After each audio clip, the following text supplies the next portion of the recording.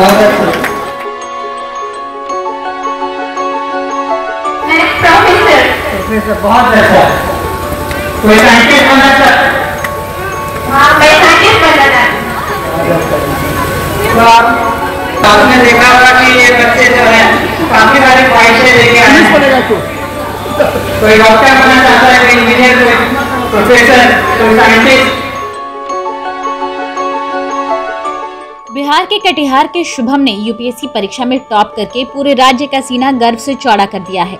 इन दिनों वो अपने गृह ज़िले में है और वो जिन स्कूलों से पढ़े हैं, वहाँ पर उन्हें बुलाया जा रहा है, उन्हें सम्मानित किया जा रहा है। शुभम इसी क्रम में पहुँचे विवेकानंद शिक्षण संस्थान स्कूल, जहाँ से उन्होंने अपनी प्रारंभिक शिक्षा ली थी। यूपीएससी टॉपर के स्वागत में पूरा स्कूल खड़ा था। छोटे छोटे बच्चे लाइन में खड़े होकर शुभम के लिए तालियाँ बजा रहे थे। शुभम स्कूल पहुँचे तो अपने पुराने शिक्षकों का आशीर्वाद लिया और समारोह में मौजूद बच्चों के साथ बातचीत करके उनसे उनके सपने जानने की कोशिश की। साथ ही साथ ये भी बताया कि वो खुद कैसे सफल हो पाए।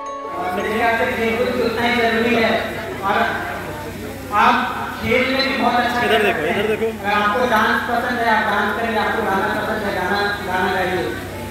आपको जो मन है वो करिए। और यहाँ पे उपस्थित अगर पेरेंट्स है तो मैं कहना चाहूँगा कि बच्चे जो भी बनना चाहे आप उसको पूरी तरह से सपोर्ट करें क्योंकि मेरे केस में मेरे फैमिली का सपोर्ट बहुत अच्छा था, बहुत स्ट्रॉन्ग था। उस वजह से मुझे कभी भय नहीं लगा कि अगर मैं फेल करूँगा तो मुझे क्या होगा। तो जिद्दी है। जिद्दी हो नहीं जिद्दी होना चाहिए कोई हो? आप हो जिद्दी? मैं आया तो ऑफिसर बनना चाहता? बहुत अच्छा तो मैं जब बच्चा था तो मैं शांत तो था लेकिन टीचर्स भी कहते थे कि बहुत जिद्दी है। मैं बहुत जिद्दी था। मैं एक बार जो बोल दिया कि वही करता था तो मैं चाहता कि आप भी अगर जिद्दी हो तो सही हो। आपके मन में कोई आ गया किसी ने बोला कि प्रोफेसर बनना है। तो आप वो बनो। अगर जिद्दी हो तो वो भी अच्छा है। आप जो मन में ठान दो वो करो। है ना? माता पिता जो आपको सिखाते हैं, जो आपको अध्यापक सिखाते हैं, उसको आप सुनिए, उसको आप करिए। आप अपने बड़ों की सुने। आप अपने बड़ों को बताएँ भी आप क्या करना चाहते हैं।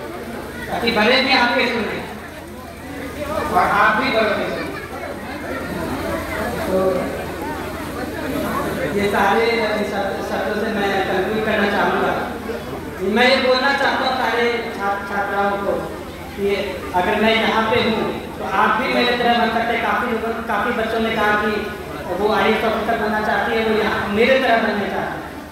आप मेरे से ऊपर जाइए, आप मेरे से और अच्छा और मुकाम तक पहुँचिए। मैं आशा करता हूँ।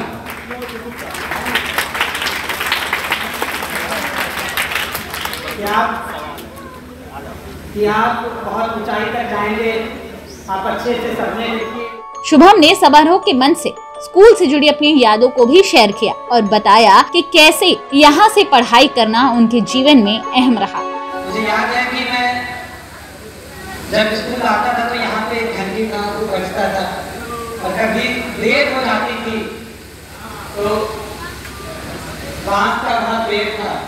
वहाँ से सुनाई देता था और दौड़ के आते थे। जैसे जो आप यूनिफॉर्म पहने हैं, वो मैं भी पहना इन गलियों से मैं भी गुजरा हूँ। क्लासों में मैं भी पढ़ा हूँ। वो लंबे बेंच ब्लैक बोर्ड कुछ कुछ सीन सर ऐसे दिमाग में बैठ गया है। वो ऐसे फ़िल्म की तरह वो ऐसे आता है तो हो जाता है। मैं बहुत आभारी हूँ इस विद्यालय का, जहाँ से मेरी शुरुआत हुई, जहाँ पे मैं बीज की तरह बोया गया। और जहाँ से मैं खड़ा उतरा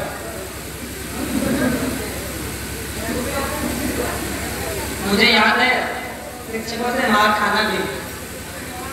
लंबे स्टिक्स होते थे। लेकिन उस उन्हीं स्टिक के वजह से, उन्हीं मार की वजह से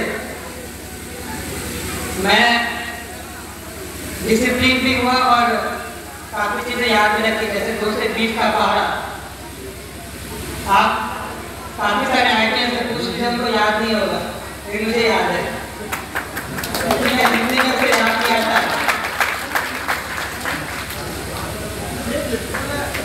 मैं डिसिप्लिन जो है वो विद्यालय से सीखा